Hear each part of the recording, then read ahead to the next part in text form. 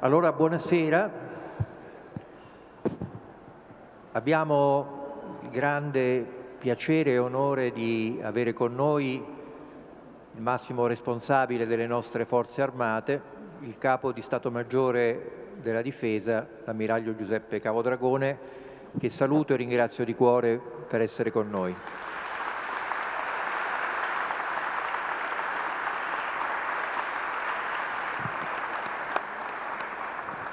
Grazie, buonasera a tutti, grazie. E considero questo applauso ovviamente rivolto a tutte le nostre forze armate, a tutti i nostri militari, specialmente in questi giorni, in questi mesi eh, impegnati a difendere la nostra sicurezza. Eh.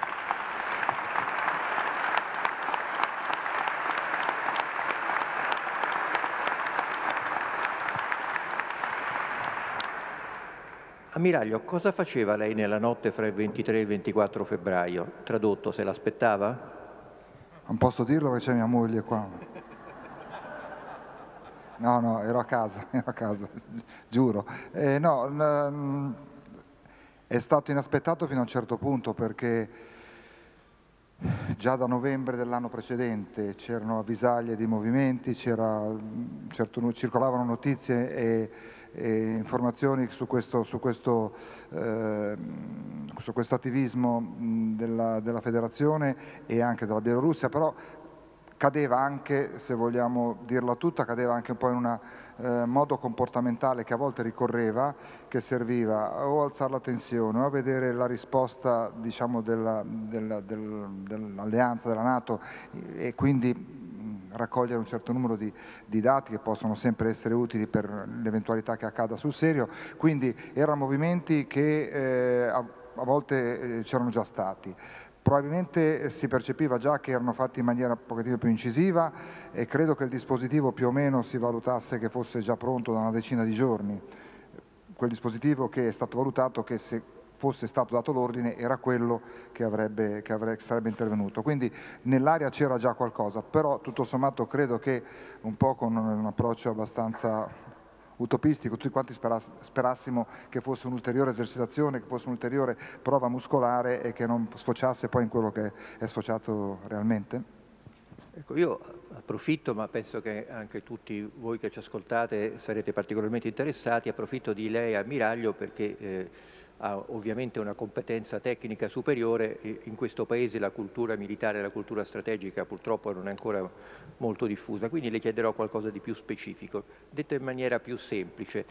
è immaginabile tenere 200.000 uomini per mesi al confine di un altro paese e poi rimandarli a casa come se nulla fosse? Cioè voglio dire, queste mobilitazioni non creano di per sé una pressione sul decisore politico?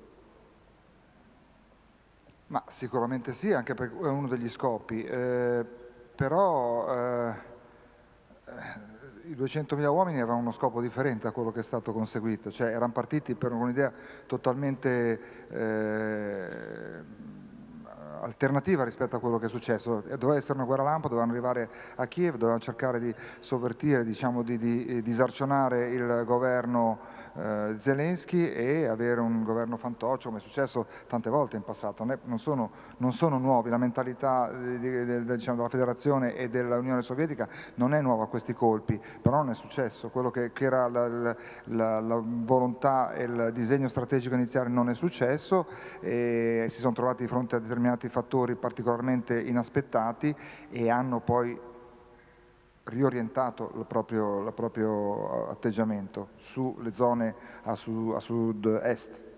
Certo, perché evidentemente invadere un paese grande il doppio del nostro con 200.000 uomini è una contraddizione inammissibile per qualsiasi diciamo, strategia. No no, assolutamente non era però nei piani, non, non era prevista un'invasione totale, non era previsto tenere un territorio che sarebbe stato impossibile farlo con, quel, con, quelle, con quelle, forze, non era previsto eh, coprire tutto il territorio, era soltanto una, diciamo una, una lancia che doveva arrivare a Kiev in breve tempo, 3, 4, 5 giorni, risolvere l'equazione e poi probabilmente, eh, non dico ritirarsi in, in eh, diciamo, in, in, tranquillità, però sicuramente l'effetto, che, si, che si proponeva alla federazione non è stato conseguito assolutamente. E qui si ricorda ancora una volta che le, le, le, guerre tu le programmi, poi iniziano e prendono un corso che tu non hai eh,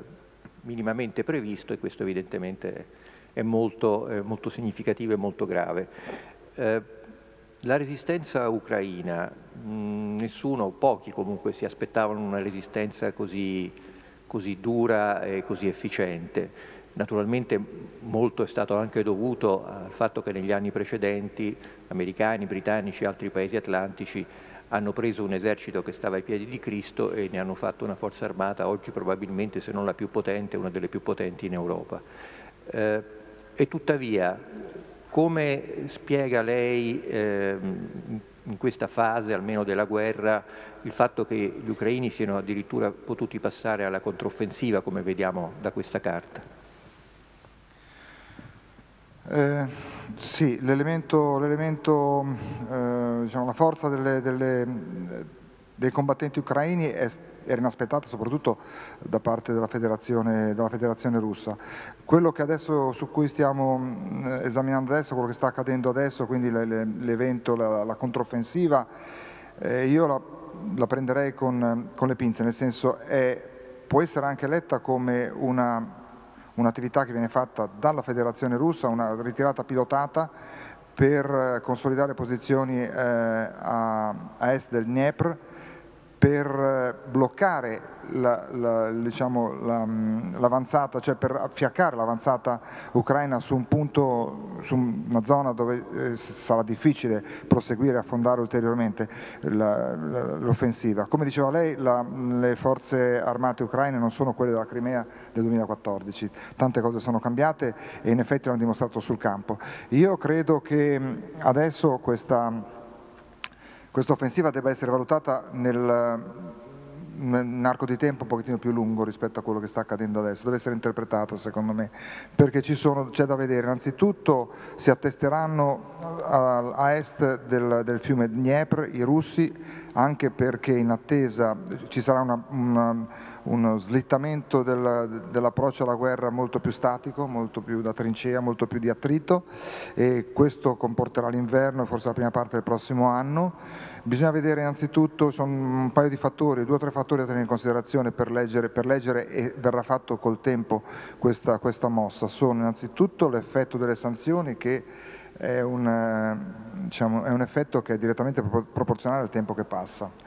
eh, bisogna vedere come agirà l'inverno in arrivo, quindi come sarà questa guerra di attrito, se effettivamente sarà statica o comunque sia avrà degli accenni di consolidamento delle posizioni nell'auspicio di una, di una, futura fase negoziale, quindi nessuno vuole andare a una fase negoziale da una posizione di debolezza, quindi sarà, io presumo ci sarà questo, questo eh, questa sistemazione delle forze in campo, ma sicuramente prima di una fase negoziale entrambi giocheranno una carta per cercare di, di rafforzarsi ulteriormente e avere un leverismo maggiore. Il terzo elemento da tenere in considerazione bisogna vedere un po' se questa, diciamo, questo, non ricatto, ma l'effetto del, eh, della mancanza di, eh, di idrocarburi, eccetera,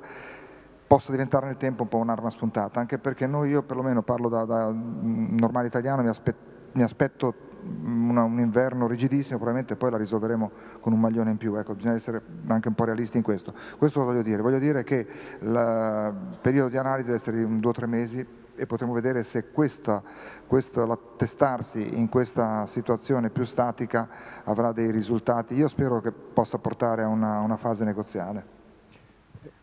Sì, noi vediamo anche in maniera molto precisa come i russi si siano eh, ritirati e abbiano cominciato a sistemare per esempio i denti di drago nella pianura eh, del Donbass e come appunto profittino della frontiera naturale che è data da un grande fiume come il Dniepr, però come sappiamo l'Ucraina è molto pianeggiante, quindi tenere una linea non è facile, immagino anche tecnicamente. Eh, quello che mi pare adesso eh, importante capire è se eh, si dovesse, mettiamo, siamo ottimisti, mettiamo che si arriva per qualche miracolo a qualche accordo di cessate il fuoco. Come si può ottenere un cessate il fuoco in questo tipo di territorio e con questo tipo di attori? Eh, gli attori sono due teste dure, quindi bisogna in considerazione anche questo, non, è, non rende la, la, la, la, situazione facile. Eh, dovranno perdere più o meno, dovremmo, cioè la comunità internazionale dovrà cercare di guidare questo processo in modo tale che entrambi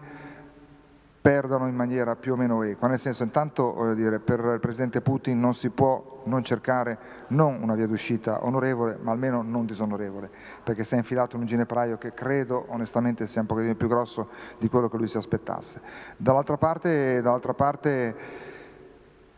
queste, le conquiste territoriali fatte dalla Federazione Russa secondo me con ehm, il manpower, con il, la, la capacità bellica che ha l'Ucraina non riesce a riconquistarle. Non c'è la possibilità militarmente di riprendere i territori che attualmente sono in mano alla Federazione russa e gli verrà dato il tempo, appunto durante l'inverno, di consolidare le, proprie posizioni, di accorciare la catena logistica che è stato uno dei problemi, quindi secondo me questa ritirata in cui non ci sono grossi combattimenti, ma è abbastanza, vorrei dire, abbastanza sintetica come evento bellico, abbastanza asettico, eh, serve anche per accorciare quella catena logistica che russi, la federazione russa non è stata capace di supportare nelle fasi diciamo, iniziali del, del conflitto, cioè diciamo, le fasi seguenti a quelle iniziali. Quindi eh, ci sarà un consolidamento delle posizioni de, della federazione russa in questo, questo periodo invernale, ci saranno i riservisti che verranno addestrati, che verranno portati uh, nelle, zone, nelle zone critiche, quindi secondo secondo me eh, qualcosa verrà perso anche dall'Ucraina. Quindi diciamo tecnicamente da un punto di vista militare è molto difficile che ci si muova di molto dalle linee attuali, questo mi pare di, di capire. Al momento attuale secondo me sì. Bisogna vedere poi anche qui, secondo me i prossimi mesi saranno abbastanza eh, significativi per cercare di analizzare bene quello che accade sul terreno. Eh, senta, ovviamente le informazioni sono sempre deficitarie in guerra, capiremo forse qualcosa di più fra qualche decennio, ma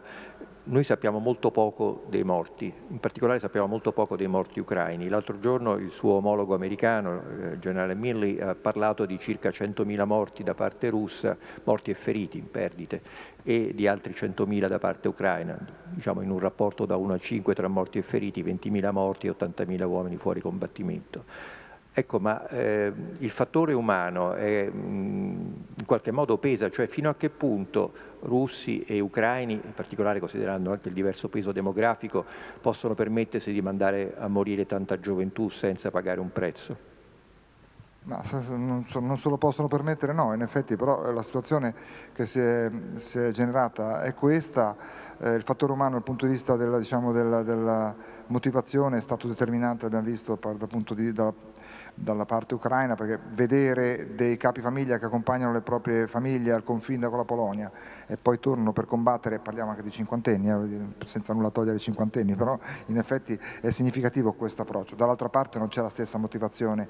sicuramente si è visto nella famosa colonna che doveva raggiungere Kiev che si è sfaldata strada facendo, che è stata oggetto di attacchi, mordi e fuggi, ma c'erano soldati russi che scappavano nei boschi senza combattere e quindi questo è stato un fattore. Non se lo possono permettere per tornare alla sua domanda, e probabilmente questo potrebbe essere un elemento che andrà ad influire sulla volontà a un certo punto di sedersi a un tavolo perché stanno perdendo vite umane senza tutto sommato conseguire quello che entrambi vorrebbero, ovvero la, la, la, una, una, un atteggiamento di un governo differente in Ucraina, perché ricordiamoci che lo scopo iniziale era questo, che garantisse non ingresso, il non ingresso nella Nato, il non ingresso nell'Unione Europea, eccetera, eccetera, da una parte, e dall'altra eh, la, ripresa del, dei, dei territori che secondo me è abbastanza improbabile. Quindi si stanno ammazzando, si stanno massacrando probabilmente in questa fase per il nulla. Eh, ovviamente sappiamo che i paesi della Nato, chi più chi meno, non tutti peraltro, eh, stanno dando un notevole contributo, quantomeno in termini di armamenti, eh, alle forze armate ucraine, anche il nostro Paese ne sta dando, so che tutti questi dati sono secretati, qualcosa è trapelato, ma io penso che eh, qui c'è anche proprio una dimostrazione un po' della nostra carenza di cultura eh, militare, in altri paesi i dati vengono addirittura sbandierati, nel nostro, mi permetto di dare una mia interpretazione, non vengono dati perché altrimenti sarebbe già cascato il governo, però questo è eh, diciamo, il dato di fatto, il dato è che noi stiamo fornendo eh, armi mh, diciamo, anche di un certo peso eh, agli ucraini. Eh, lei pensa che questo tipo di eh, forniture possa continuare sia per quanto riguarda l'Italia sia per quanto riguarda gli altri paesi europei, lasciamo stare gli americani che un discorso a parte ancora molto a lungo, per dirla più chiaramente, che cosa ci resta a noi? L'importante è che possono cascare i governi che non caschi il capo di Stato Maggiore della Difesa, è un fondamentale.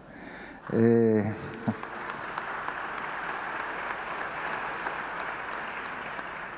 confesso che è difficile fare slalom tra le domande del dottor Caraccio. Eh, quindi, non è obbligatorio no, fare slalom. No, no, No, anche eh, discesa libera. Noi siamo, no, noi siamo incastonati nella, diciamo, nell'alleanza, ci siamo sempre mossi in sintonia con quelle che sono le direttive, le, dire, diciamo, le indicazioni dell'alleanza e dell'Unione Europea, quindi continueremo a farlo. Eh, cosa ci rimane? Noi dobbiamo ovviamente, ma questo è comune, l'ho vissuto in tutte le riunioni che abbiamo fatto, è comune a tutti i paesi dell'Unione Europea, cioè dobbiamo continuare a supportare l'Ucraina perché è un momento in cui ha bisogno che ciò accada, eh, facendo salvi gli impegni che abbiamo noi quello che è necessario garantire per la nostra sicurezza e per gli impegni che abbiamo preso nell'ambito delle alleanze. Quindi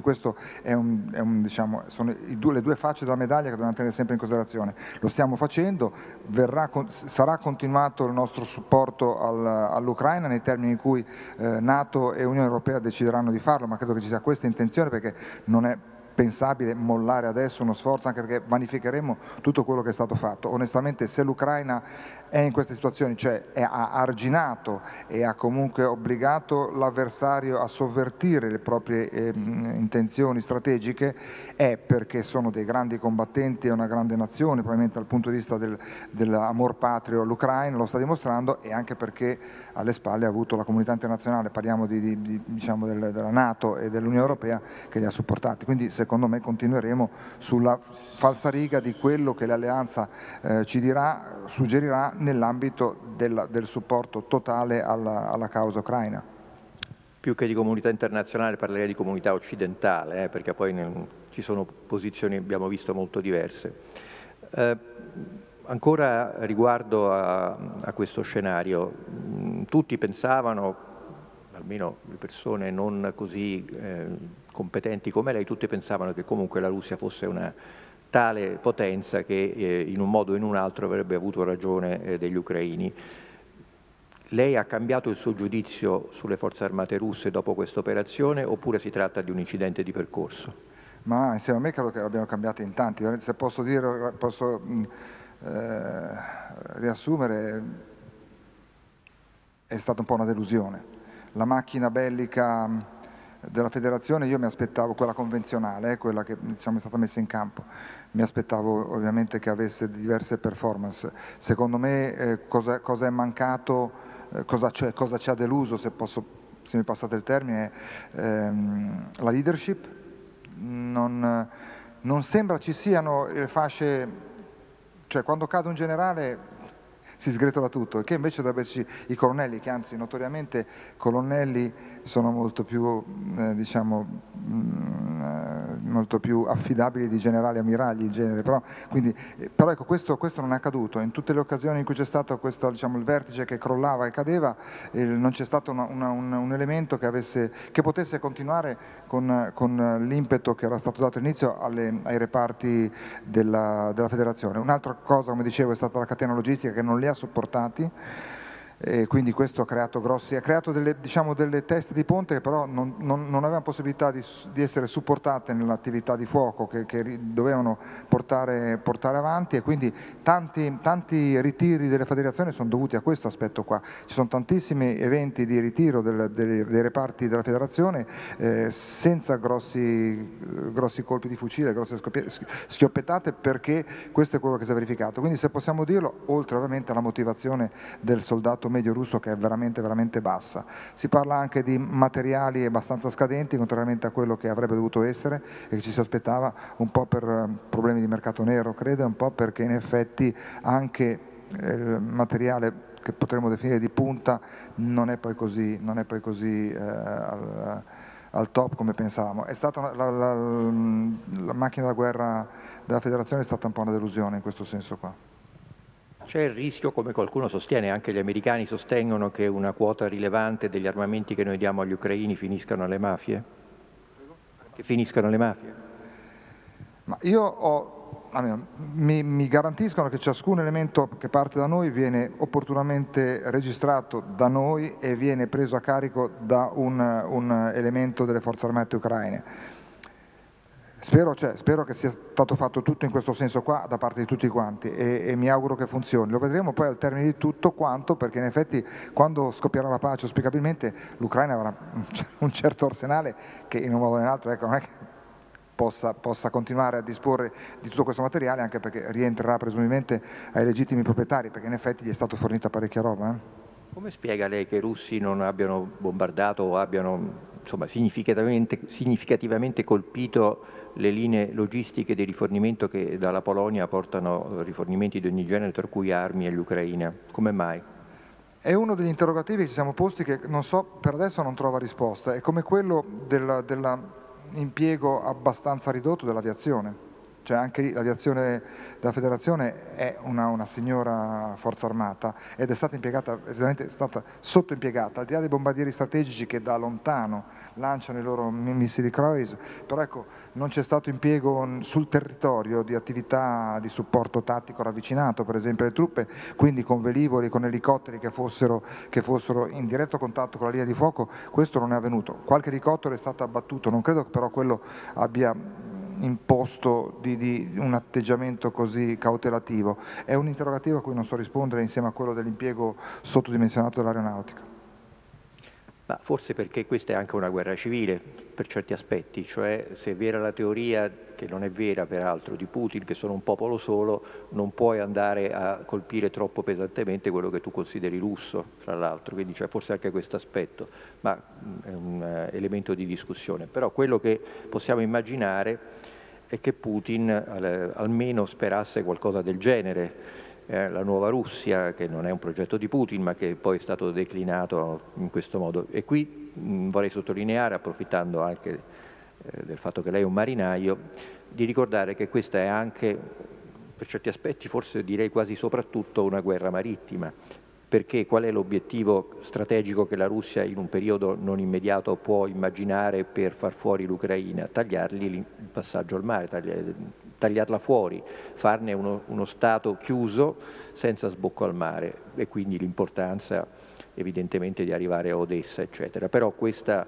eh, ipotesi è, è, saltata, non è saltata però eh, la realtà che il mare di Azov è ormai un lago russo il mare di Azov significa poi passare attraverso i canali del Don, del Volga, poi attraverso il Caspio, eccetera, arrivare fino al Mar Bianco con una serie di, di canali. Eh, la flotta del, del, Mar Nero, la flotta di Sebastopoli, eh, in questo momento è, eh, è più capace di diciamo, bloccare eh, l'Ucraina, i porti ucraini, oppure è più sotto schiaffo e quindi è sulla difensiva? La flotta, del, la flotta del Mar Nero ha, ha preso una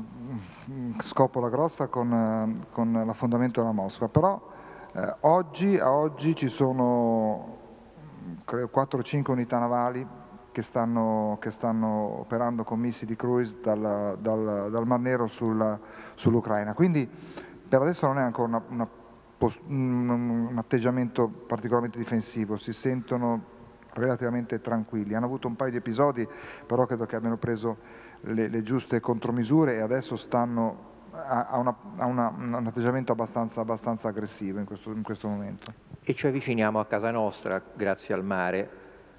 ci avviciniamo eh, a casa nostra e ci avviciniamo quindi allo scenario, eh, beh, tanto questo è il mare di Azov perché si mostra attraverso questa carta in maniera molto chiara l'importanza di controllare il mare di Azov per avere accesso più diretto al, alla Crimea e, e, e poi c'è questa vicenda di Kherson che ha un valore molto importante anche proprio per eh, il mantenimento da parte russa del controllo della Crimea, dato che lì ci sono le fonti d'acqua fondamentali per, per, la Crimea, quindi è molto importante eh, perdere o, o guadagnare Kherson. E c'è anche la, la diga di Nova sì. Calabria che, che, che a, a, oggi sta reggendo. Certo, e poi lì sopra il mare di Azov parla, passa la famosa autostrada M14, quella lungo la costa, che ha un valore strategico e logistico particolare.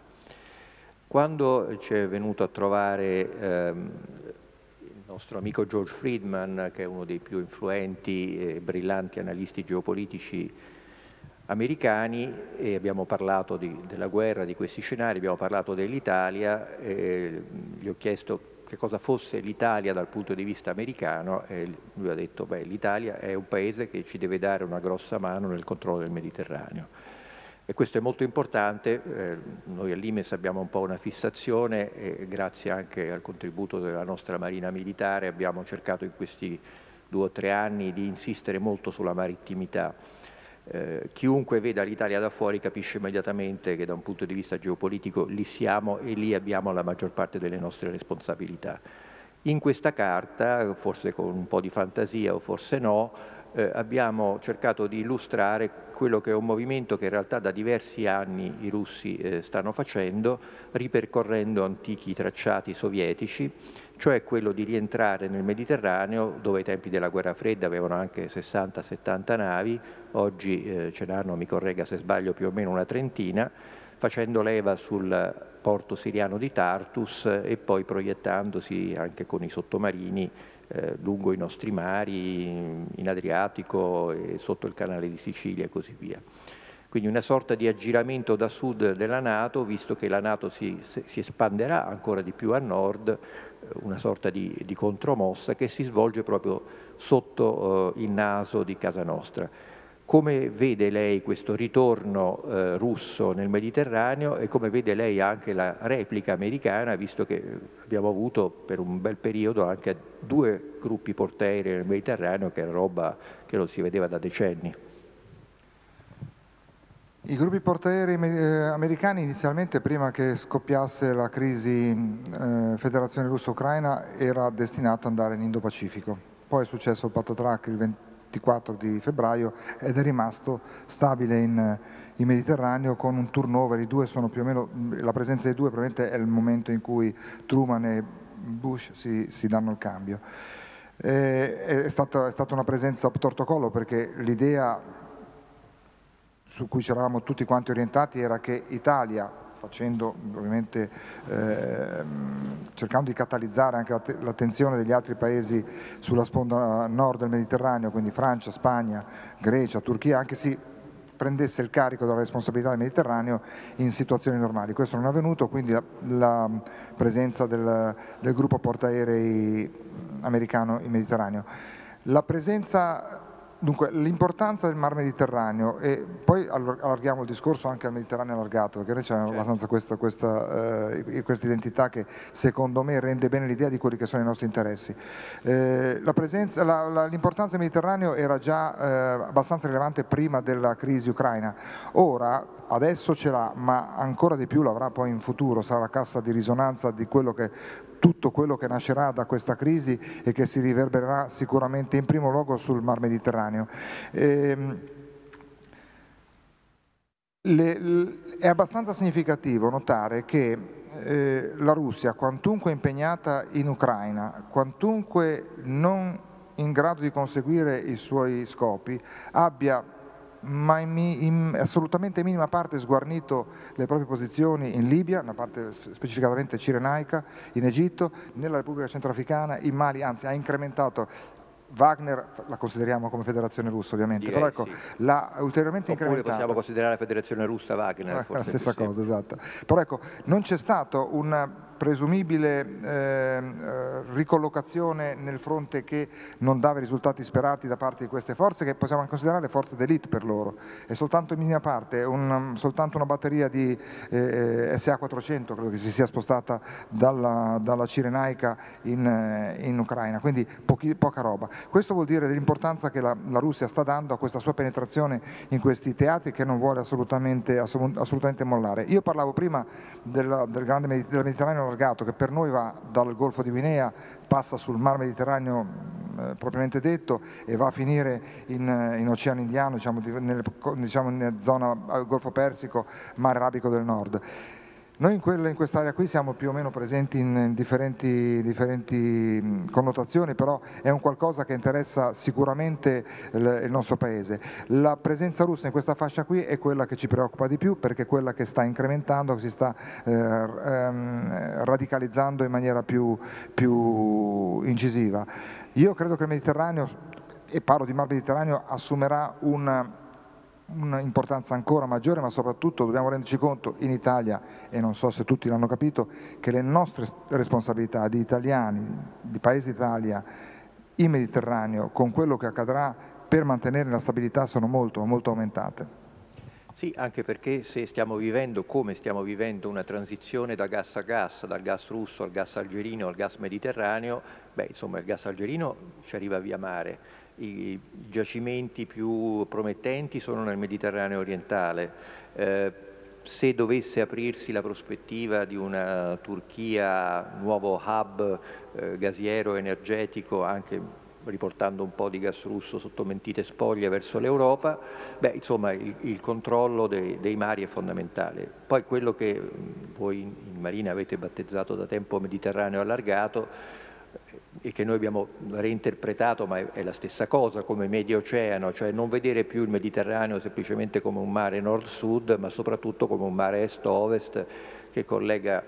il teatro indo-pacifico della guerra grande all'Atlantico, che è il nostro eh, diciamo, oceano canonico di riferimento. Ecco, quindi sicuramente eh, la partita marittima per noi è vitale perché sappiamo che eh, l'Italia senza una tranquillità e una libertà di navigazione nel Mediterraneo è semplicemente un paese finito. Ecco, sotto questo profilo, eh, come valuta lei le incursioni eh, russe, eh, in particolare di sottomarini russi? Qual è il loro grado di pericolosità e come facciamo noi a più o meno controllare quello che stanno facendo? La la presenza russa, la, diciamo, la dinamicità della flotta della Federazione russa in questo contesto ha due, ha due scopi. Uno avrebbe voluto essere il turnover per la flotta del Mar Nero che però ovviamente per il trattato di, di Montego Bay non ci sarà in quanto lo stretto, in quanto il Bossoro è chiuso. e, e l'altra è quella di da una parte testare esattamente quello che è successo con l'elongazione nel Mar Adriatico, testare il sistema, diciamo, il sistema alleato di, di, come, di, come, reagiamo, raccogliere un certo numero di, di informazioni, dati su, su emissioni o quant'altro e metterci comunque sotto pressione, nel senso che in effetti ha generato una, una maggiore attenzione e un maggiore impegno da parte delle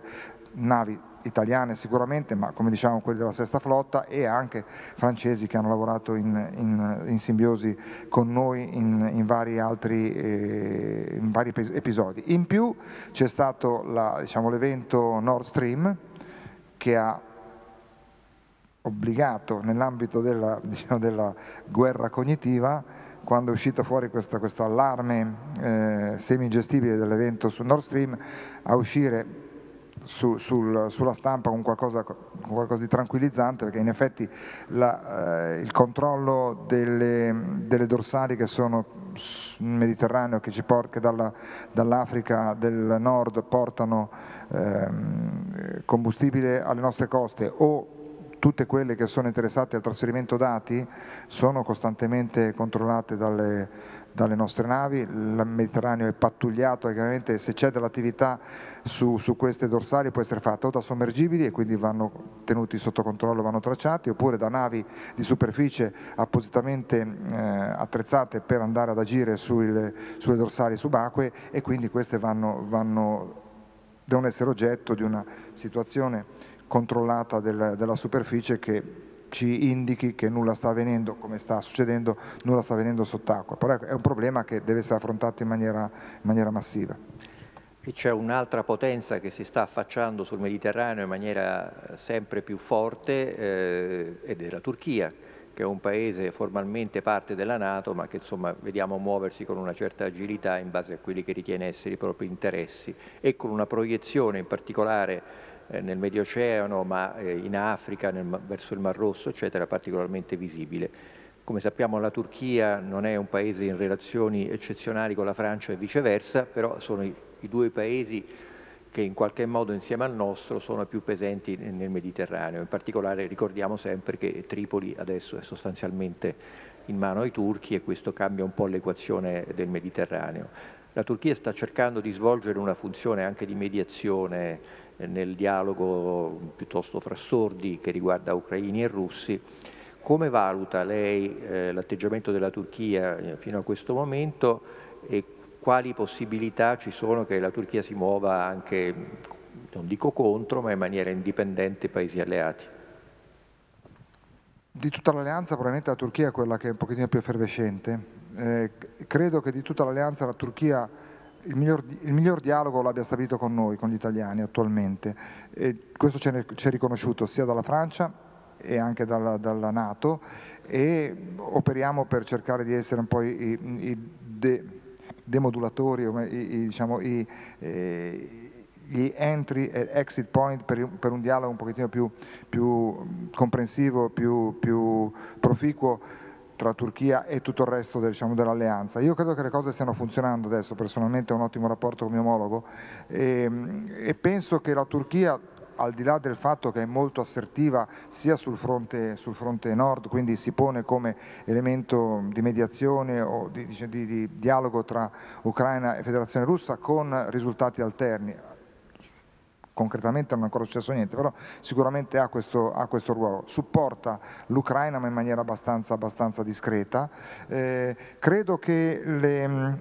sia da parte francese che da parte turca stessa ci sia la volontà di cercare di smussare gli spigoli che sono verificati ultimamente. E questo posso dirlo anche nei confronti della Grecia, cioè dal punto di vista, probabilmente io parlo dal punto di vista militare, prettamente c'è forse molta più eh, vicinanza o volontà di dialogo che non forse a livello politico, non lo so, questo posso dirlo come, come, come militare, ho notato questo, questo diciamo, addolcimento del, dei loro atteggiamenti e speriamo che si vada in quella direzione anche perché non serve a nessuno avere un elemento centrifugo rispetto a, un'alleanza che tutto sommato si è dimostrata funzionare, funzionare e si è dimostrata decisamente coesa alla prova dei fatti nella crisi federazione russa-ucraina. Diciamo che questo relativo ammorbidimento della tensione franco-turca è stato facilitato anche dal dalla fine della missione Barcana, in generale dall'allentamento della presa francese sull'Africa, il che ci, forse ci dovrebbe anche porre eh, la domanda ma che ci siamo andati a fare nel Mali, visto che i francesi si sono ritirati.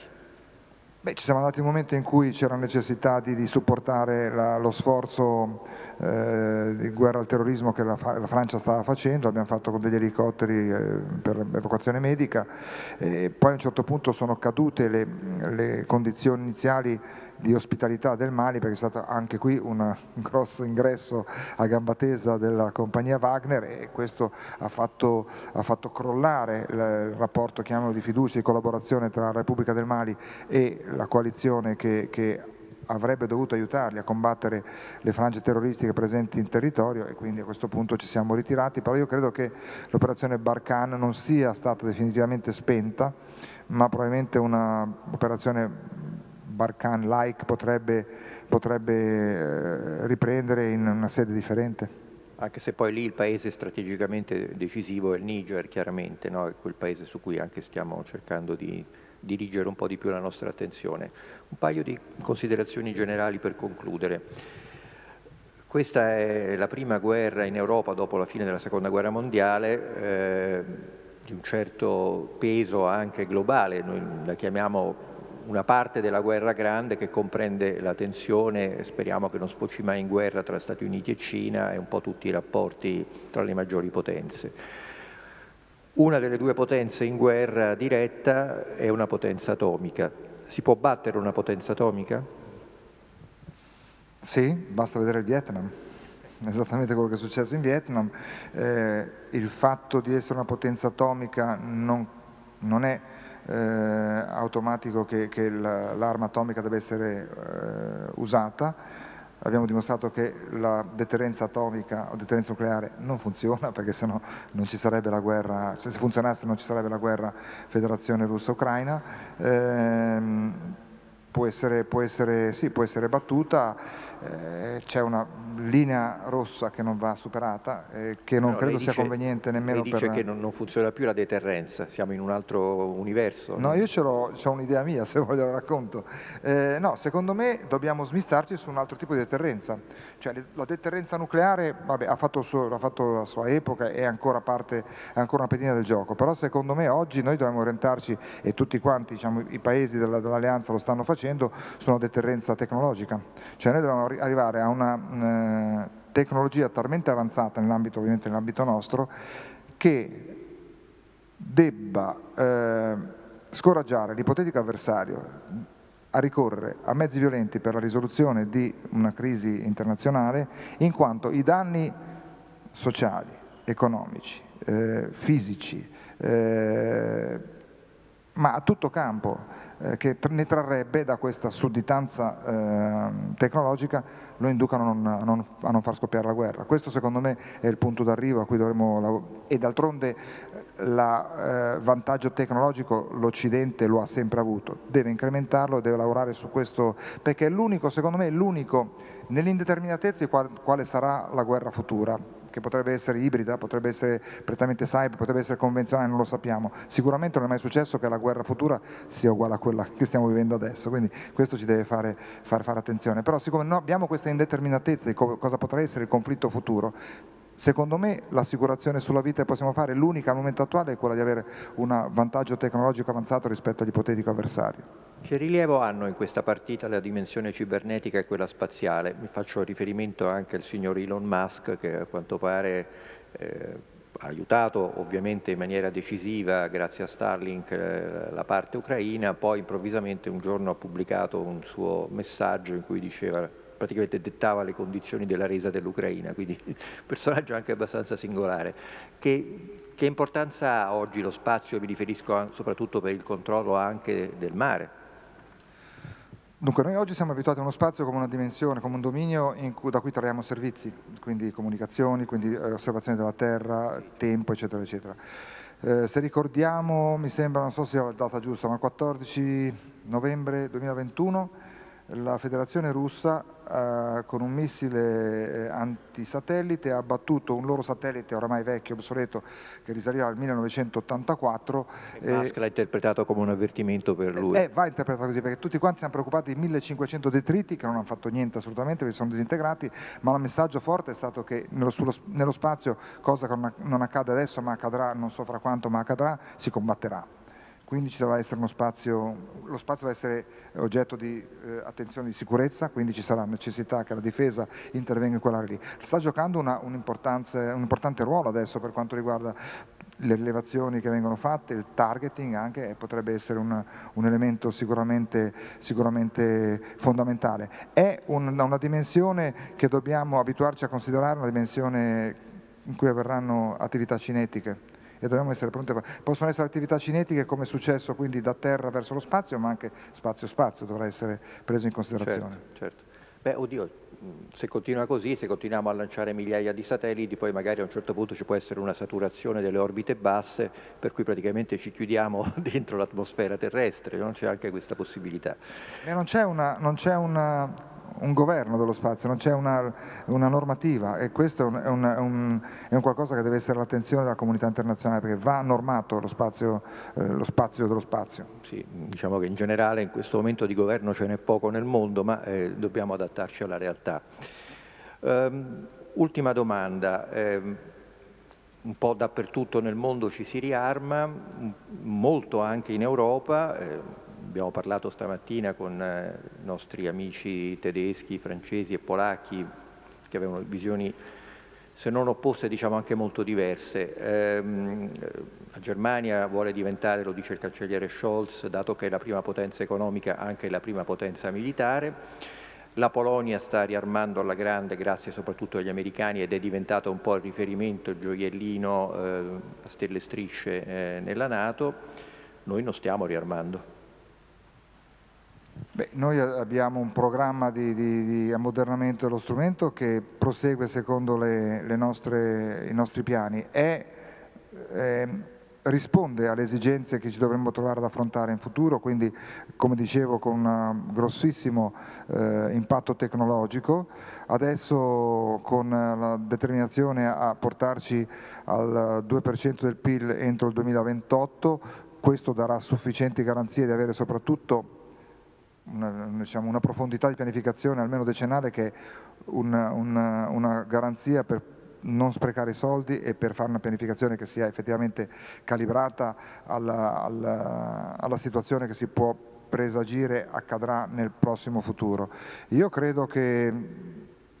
con i dovuti caveat, soprattutto tenendo in considerazione che siamo una nazione che deve anche ripeto, mi do la zappa sui piedi, ma ci sono aspetti sanitari, ci sono aspetti sociali che devono essere considerati e che probabilmente in determinati periodi vanno messi davanti alle esigenze, alle esigenze diciamo, di ammodernamento, però io credo che col programma, se riusciamo a rispettare il programma che noi abbiamo stilato, che i miei predecessori e, e, e noi abbiamo stilato per il futuro, credo che saremo all'altezza della, della, della delle aspettative e del livello di ambizione che il nostro Paese si vuole, si vuole dare nell'ambito dell'alleanza, nell'ambito del Mediterraneo, come diciamo prima, e nell'ambito del, dell'Unione Europea con tutto quello che comporta una difesa europea e tutto quello che deve nascere, deve consolidarsi in futuro in questo campo. Quindi io credo che se tutto quanto va come deve andare ci sia il giusto equilibrio per soddisfare le esigenze dello strumento militare per i tempi che cambiano e anche fornire al Paese gli strumenti per, per, per crescere. Eh, ammiraglio, io veramente le sono molto grato per, eh, non solo per essere qui con noi, ma anche per aver illustrato eh, a un pubblico molto vasto che va anche al di là di questa sala piena alcuni aspetti tecnici eh, militari, perché eh, noi siamo un paese che giustamente ha pensato da almeno tre generazioni di essersi emancipato dalla guerra e quindi abbiamo eh, sviluppato un, una cultura di pace che però eh, ci trova in questo momento un po', eh, un po', scoperti. Quindi io credo che sia molto importante sapere che l'elemento della sicurezza militare è un elemento che è alla base della pace, altrimenti di che cosa stiamo parlando, e che soprattutto eh, una forza militare non si giudica unicamente dai mezzi materiali che ha, ma si giudica soprattutto dalla legittimazione che ha all'interno della società.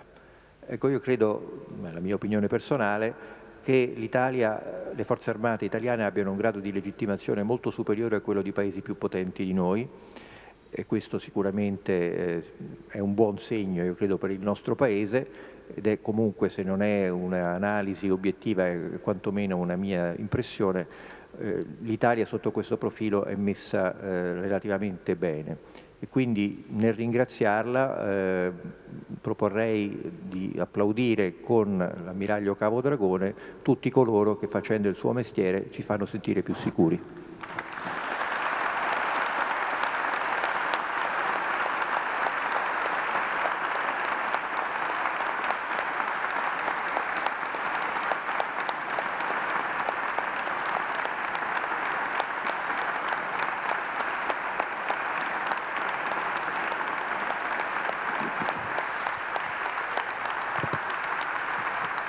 Grazie Ammiraglio.